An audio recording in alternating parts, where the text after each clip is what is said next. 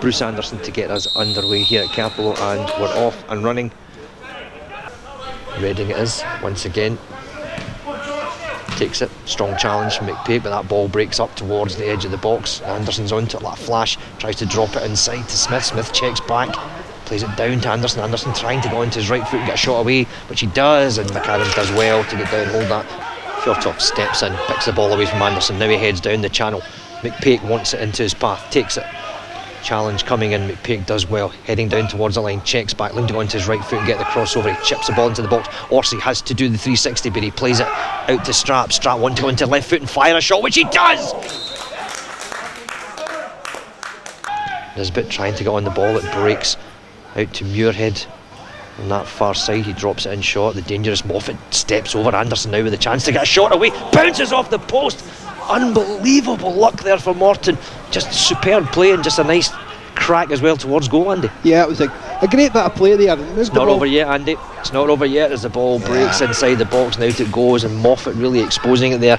And that really, really unlucky for Bruce Anderson. There's no way you can do anything about that if it comes no. off the post and that's it. He's got a great first touch on it to set the shot up. Very, very fortunate for Morton there. It came off the post in the right manner, right back towards the goalkeeper which once again down the line Orsi's underneath it Your head stabs it forward headed back inside but chance for McAllister does well. Picks it up heads towards halfway line he's impeded but he goes on anyway. Played to Orsi. Orsi now Morton breaking in strength breaking in numbers McPake trying to go into that right foot. He's going to fire one away blocked by the defender. Roscoe pumps it up towards the halfway line. Josh McPake once again just the difference for Morton at the moment trying to create an opportunity. Short throw in. Back to Strapp, he's looking to play it out. Does so, picked up on that far side. Nice touch, looking to get onto the left foot, down to the right foot, fires a shot down, super save by the goalkeeper. Baird blocks it, knocks it away. Wonderful play.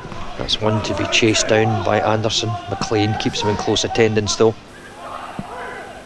Cuts inside McLean though. He's got away. He's trying to go into his right foot, stabs it forward. Ball breaks inside for Smith. Smith retains possession. He tries to play it back across, and it's into the back of the net. And that looks to me like an own goal. Wonderful play from Smith. He cracks the shot away. It comes off a Morton defender. I'm trying to see who it is, Andy. It's in the back of the net. And we have a situation here in 32 minutes of Morton nil, Ayr United one. Yeah, look, look, Lewis Strapp. We got the last touch on it to send out the top of the net.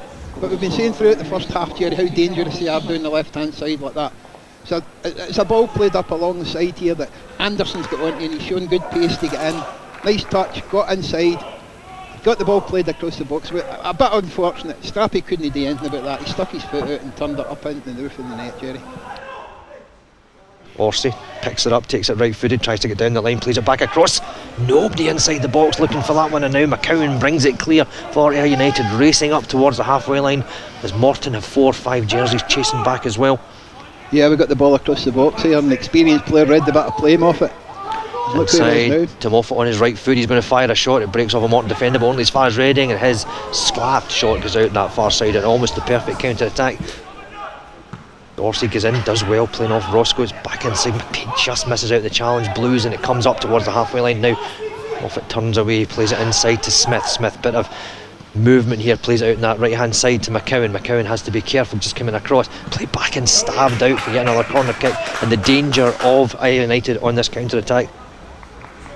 Reading picks it up. Chips it high towards the back line once again. Fjortoft underneath gets the header up.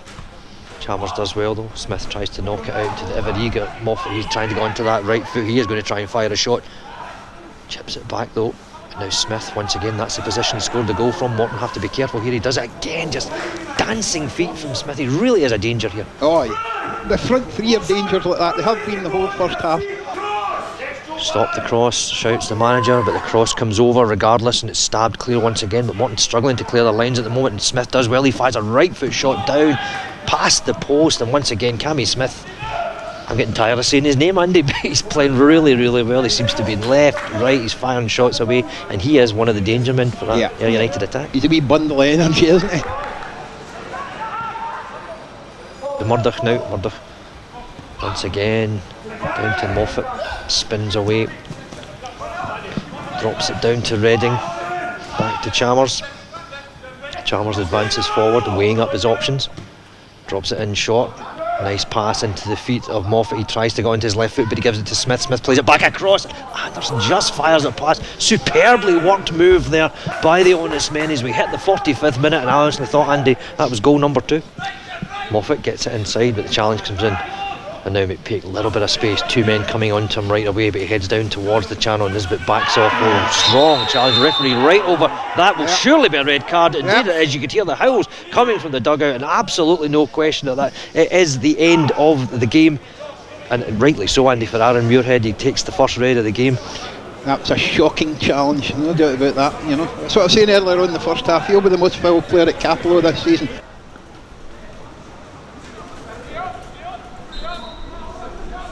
Nisbet does indeed aim for the penalty spot and it's punched clear by the goalkeeper when it looked easier just to try and get down and hold it. Yeah, it's difficult though when the wind's blowing about like that, but the keeper pushed it out further enough away not to have been a problem for him in the way back.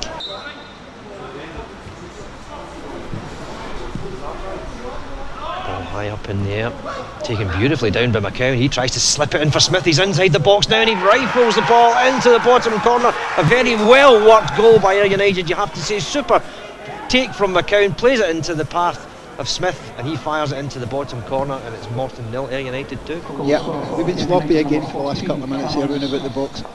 It's a loose ball across. I don't know whether it was a misplaced pass there, but the combination play between the Ayr United forward there was excellent, Jerry. Credit where credit's due. Played a nice wee 1 2 and then slipped through. Uh, is that Freddie Mercury on that far side with the ball? Just up in the cowshed? I believe it could be the former Queen's. he wants to break. It is indeed. Yeah. Is yeah. There, there it is. Freddie Mercury. Difficult to actually see the ball in these conditions, Andy, with the, the rain, as you can see, just in front of the floodlight there. The passing, the control hasn't been as sharp as Ayr United's today, and they've created more chances around about the box because of that. Strapp once again, the high ball. McKeever's chasing that down. Gets a beautiful touch, gets inside the box, gets beyond the defender. It breaks inside. Oliver picks it up, strokes it into the back of the net, and Morton with seven minutes left to play are right back in it, Andy. Yeah, well, it's just a long ball there. I was thinking to myself it was a nothing ball, but it put the defender under pressure. Uh, they've got through on top of it. Wee bit scrappy at the end, but great composure by Gary Oliver. He, he could have hit it off, get back onto the, the goal line like that, he didn't. He took it inside to put it away everybody inside the Ayr United half at the moment. McLean stabs it down towards McGuffey. He plays it back infield to McGinty. McGinty will have to go back towards his goal, take it onto his left foot, and now he'll look to play a diagonal, will he, Andy? Yeah, they'll try and play the ball back post again and see if they can get a touchdown on it. Now's the time to go and attack the box. There you go. Back inside, the chance inside it in! Unbelievable! Morton are right back in this game with the equaliser. I'm trying to see who it was just down there. I think it was Cammy Blues. I think it may have been Gary Oliver, my friend. I'm not sure. Nope, I think it was Cammy Blues. He got inside the box, yeah, took it down, and I can tell you now, with six minutes left to play, it's Morton 2, Ayr United 2. And we could still get the three points here, Andy. Yeah, I could hardly see for the rain and the wind that was blowing round about, but it's direct again, Jerry. When I said get it over to the back post and see if we can get a knock down on it, that happened that way. Oh, yeah. what a turnaround. Now advances towards the halfway line urgency about Morton, excitement here for myself and Andy as they try to come forward and get that winning goal. The Strapp plays it out to McAllister. Switched out to McLean. Patience from Morton now. McLean tries to fire up towards Strapp, he's inside the box, he heads it down inside, yes! it's in the back of the net! Unbelievable from Morton! Superb ball inside the box, Lewis Strapp with a bandage around his head, gets his head onto it, it's in the back of the net, and we now have a situation of Morton 3, Ayr United 2. Andy Ritchie, what do you make of that? Well, well, well, Jerry, what about all that? The last 10 minutes, we went direct, one ball's in round about the box, got support up, overloaded the box with players, and we've been successful. We were down and out 15 minutes ago, no doubt about that, and Morton have showed all the spirit in the world to get themselves back in again. Well, I could hear fireworks going off somewhere, Andy. I don't know if somebody's celebrating prematurely. Morton leading by three goals to two. 94 minutes played here at Cappielow Park. There you go, Jerry. There goes indeed. The referee calls a halt to proceedings.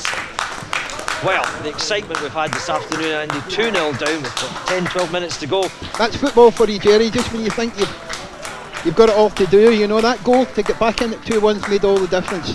Great endeavour, great fighting spirit amongst everybody in the team like that.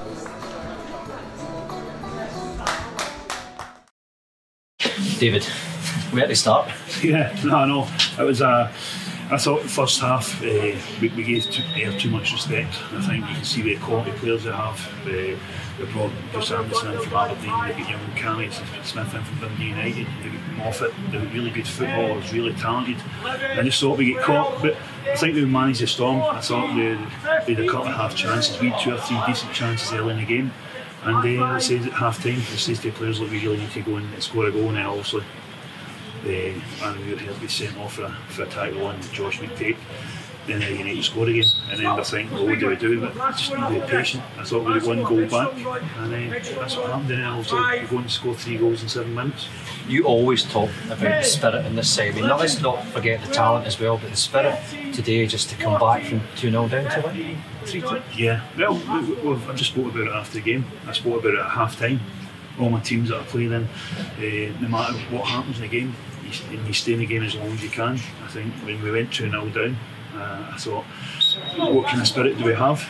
And it came out in abundance because we've scored three fantastic goals. People can say what, anything they want, but they're well what goals, the, the, the timing, the runs, the finishing in them.